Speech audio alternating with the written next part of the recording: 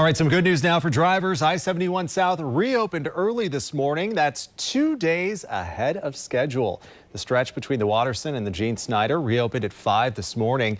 The Kentucky Transportation Cabinet said the contractor, Louisville Paving Company, worked tirelessly to get the job done.